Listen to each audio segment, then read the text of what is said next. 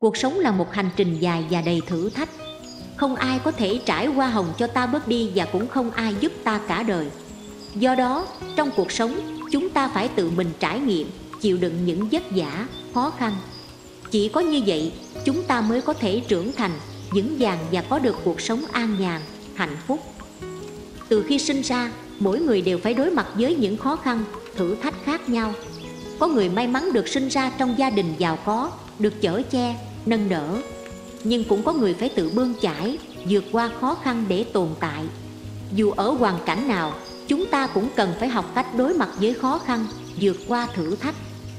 Những khó khăn, thử thách trong cuộc sống sẽ giúp chúng ta trưởng thành, vững vàng hơn. Khi đối mặt với khó khăn, chúng ta sẽ phải học cách tự lập, tự giải quyết vấn đề của mình. Chúng ta sẽ phải học cách mạnh mẽ, kiên cường, không dễ dàng bỏ cuộc. Những khó khăn thử thách sẽ giúp chúng ta rèn luyện ý chí, nghị lực, giúp chúng ta trở thành những người mạnh mẽ, bản lĩnh. Dù có dấp ngã, thất bại thì cũng đừng nản trí. Sau những lần như thế, bạn sẽ có thêm trong mình nhiều bài học và kinh nghiệm hơn.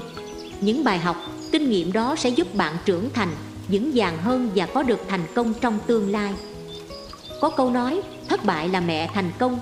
Mỗi lần thất bại, chúng ta sẽ rút ra được bài học cho bản thân và có cơ hội làm lại vì vậy, đừng sợ thất bại, hãy coi thất bại là một cơ hội để trưởng thành, phát triển bản thân. Cuộc sống này không trải qua hồng cho ta, nhưng nếu chúng ta biết đối mặt với khó khăn, vượt qua thử thách, chúng ta sẽ có được cuộc sống an nhàn, hạnh phúc. Một tấm gương vượt khó nổi tiếng mà ai trên thế giới đều biết đó là Stephen Hawking. Ông là một nhà vật lý lý thuyết người Anh, Được coi là một trong những nhà khoa học vĩ đại nhất của thế kỷ 20 Ông đã có những đóng góp quan trọng cho lý thuyết vũ trụ học Đặc biệt là lý thuyết về các lỗ đen. Stephen Hawking sinh ra ở Oxford, Anh vào năm 1942 Năm 21 tuổi, ông được chẩn đoán mắc bệnh sơ cứng teo cơ ALS Một căn bệnh thần kinh thoái hóa khiến cơ thể dần dần tê liệt. Các bác sĩ cho biết ông chỉ còn sống được 2 năm. Tuy nhiên, Stephen Hawking đã không chịu khuất phục trước số phận.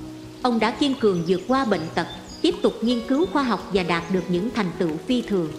Ông đã xuất bản nhiều công trình nghiên cứu quan trọng, được giải thưởng Nobel vật lý năm 2017. Stephen Hawking là một tấm gương sáng về nghị lực và ý chí dương lên trong cuộc sống.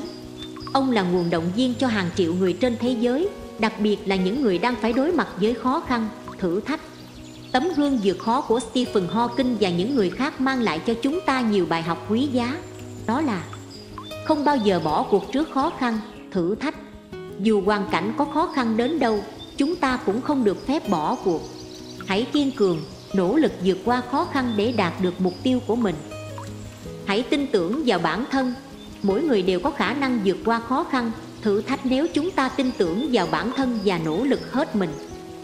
Hãy biết ơn những người đã giúp đỡ mình. Trong cuộc sống, chúng ta luôn có những người sẵn sàng giúp đỡ ta. Hãy biết ơn những người đã giúp đỡ mình để tiếp tục những bước trên con đường đi đến thành công.